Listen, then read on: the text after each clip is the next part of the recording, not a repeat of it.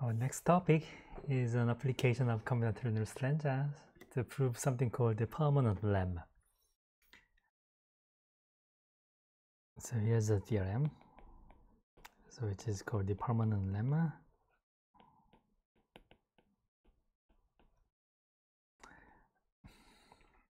So before maybe before stating the lemma, I'm gonna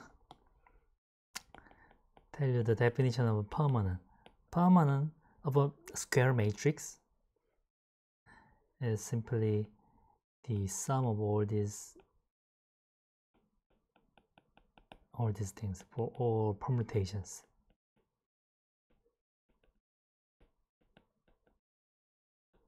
Right? So determinant oh yeah, sum of the product of AI by I.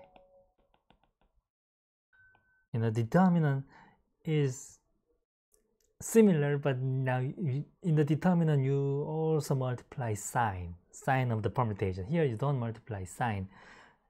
So when you have a matrix A1, A, okay, let, me just take the simple example. So in this case, it's AD plus BC. So that's a permanent. All right, so the permanent lemma says the following. So here A is an n by n matrix over a field F and let's say permanent of A is non-zero. And let's say B is in the field B is a vector. Then for every family of sets L1, L2, Ln of size 2, right? So whenever you have two element subsets,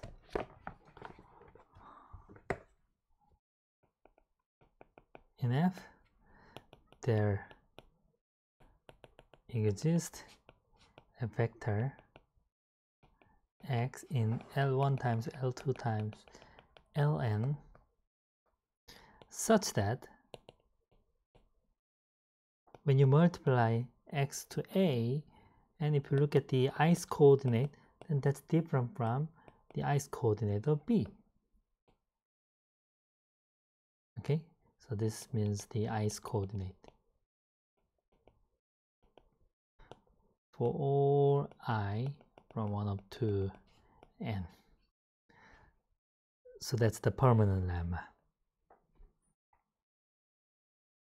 And the proof is uh, actually a simple application of the combinatorial engine. So let's define f of x1 so the polynomial to be the product of aij xj oh okay. Sum of aij xj minus bi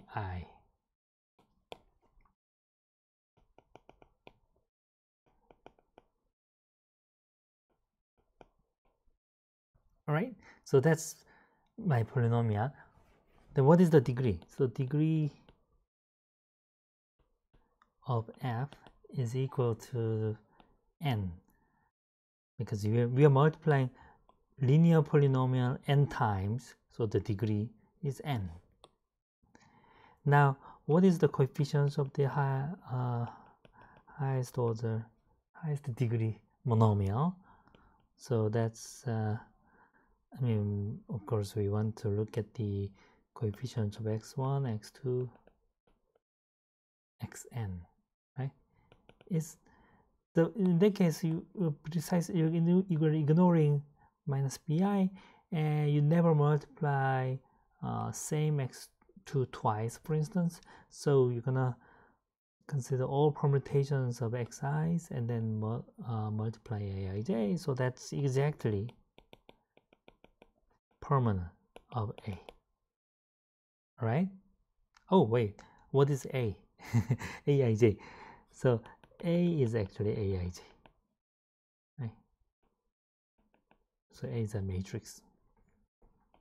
I mean, Aij is entry. Alright, so if the permanent is non-zero, that means the coefficient is non-zero. So whenever you are given two choices, right? So here you have a 1, 1, 1. So whenever I'm given two choices for each variables, then there will be a some assignment whether where this polynomial is non-zero. So by the combinatorial Nullstellensatz, let me use this page by the combinatorial Nullstellensatz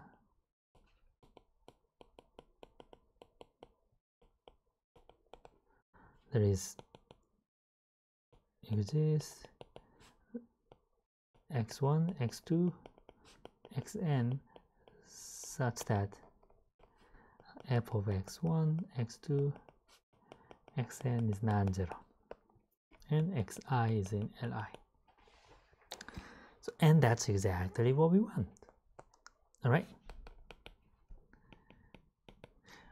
So uh, this can be seen as a kind of generic tool to show that something exists, right?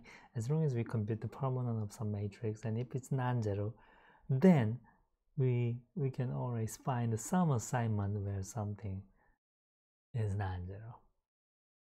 So let me show you one corollary. So here's a corollary for graph. So let G be a bipartite graph. With the uh, bipartition A, B and let's say both A and B have size n.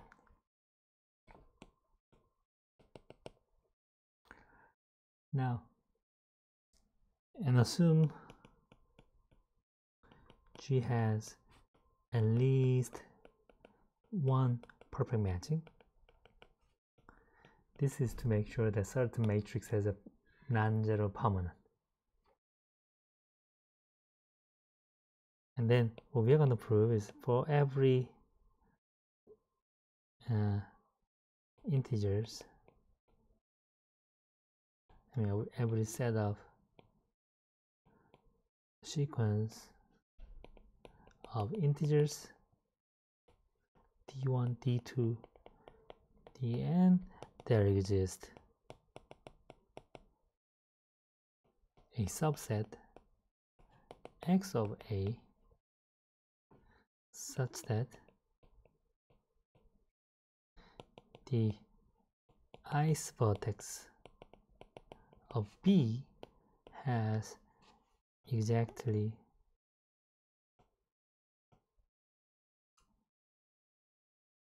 oh yeah I mean what I meant is that such that the number of neighbors of vertex of B in X is not equal to Di.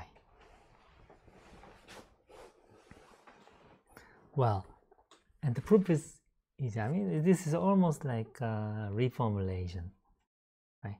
Because when you have a graph G, I can construct the matrix, right? So here you have A, here you have a B, then you, you put 1 if these two are adjacent, otherwise you put 0.